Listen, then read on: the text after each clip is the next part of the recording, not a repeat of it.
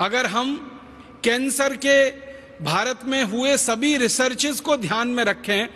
तो कैंसर पे काम करने वाले जितने भी विशेषज्ञों से मैं मिला हूँ, उनसे जब भी मैंने ये सवाल पूछा है कि आप मुझे एक सबसे बड़ा कारण बताइए कैंसर के होने का तो बेहिचक सभी विशेषज्ञ कहते हैं कि कैंसर का भारत में और दुनिया के देशों में सबसे बड़ा कारण जो निकल के आ रहा है, वो जहरीले कीटनाशक और जहरीले जंतुनाशक और जहरीले रासायनिक खाद जो खेती के नाम पर हमारे खेतों में डाले जा रहे हैं, यही सबसे बड़ा कारण है। एक बहुत खराब जहर है, जिसका नाम है एंडोसल्फान। एंडोसल्फान को अमेरिका के देश में 20 साल पहले प्रतिबंधित कर दिया गया।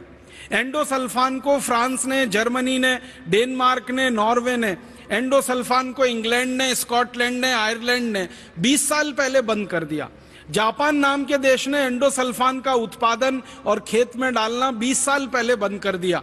दुनिया के छप्पन से ज़्यादा देशों में एंडोसल्फान ना बनाया जाता है, न खेतों में डाला जाता है, क्योंकि ये सबसे खराब जहर है।